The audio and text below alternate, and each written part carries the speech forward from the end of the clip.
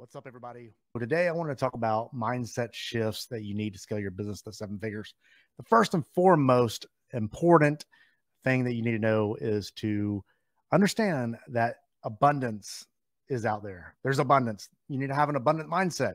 If you think that everybody's your competition, you're already done for. You do not want to have the thought process that everybody out there is competition. You need to realize that there's more than enough out there for all of you. You need to make sure that you understand everybody can get their slice of the pie if they're willing to work. The second thing is is you need to realize that money is everywhere. You can make great money and um, don't let that stop you if you don't have money. Uh, you know, if you find the right property that cash flows really, really well, the banks will give you the money. And if you don't have the down payment, you find the right property that will do really, really well somebody will come up behind you and partner with you jv and or help you along the way. So don't let money stop you.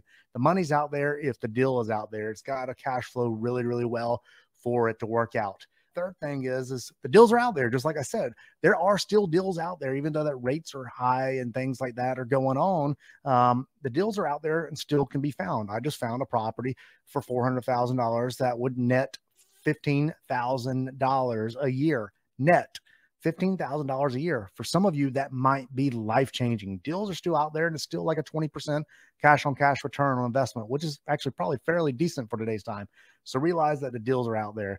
Also realize that this is not easy money. You know, not only do you have to have an abundance mindset and realize that the money's out there and that the deals are out there, you need to realize that short-term rentals are not easy. It's not it's not hard, but it's not easy. You're going to be working harder than most people in other areas of real estate investing and different asset classes. At the same time, you don't have to have experience. A lot of people think that you have to have experience. It's the people who are out there doing the daily works. They're out there. They're not just trying to gallivant. They're patiently aggressive. Like I said, they are making sure that the numbers works. They are trying to make the deals happen. They're not just kind of doing it on the side. So you need to realize that you have to be active in this business.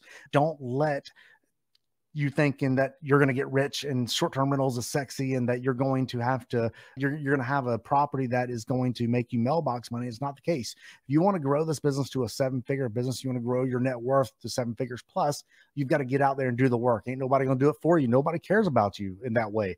You and your spouse maybe you and your girlfriend your boyfriend your kids but nobody else cares about you. Also another thing that you've got to do to realize is that you have to maneuver, you have to pivot. Anything can go wrong at all times. So you have to be quick to pivot. That's what gets people to seven figure businesses. That's what gets people to seven figure net worths. You need to have finances available and so on, uh, and or a partner that does, you know, have those kind of finances. Another thing is, is people that are creating seven figure businesses, they realize that despite what the economy is giving them, that is not their economy. They go back to that abundance mindset. Well, if the current interest rates aren't working, how can I make creative financing strategies work for me? And they kind of work through those subject to mortgages. You know, we've had a lot of problems in our business over the last 20 years. Nothing was built easily. We'll just go back to that saying nothing was built easily. And we've had our share of problems over the years from lawsuits to systems breaking down to properties backfiring, contractor issues, this and that you got to expect that stuff is going to backfire. So people that think that you can you can build your portfolio, not have problems, you want to minimize risk and this and that, maybe real estate isn't for you. If you really want to scale it to a seven-figure net worth and a seven-figure income business, you need to expect problems. So what does that mean? You got to be prepared they get around like-minded people like facebook group like podcast. You stay involved with those people and you connect you network you find people and you become part of a community. They actually plan. They plan accordingly.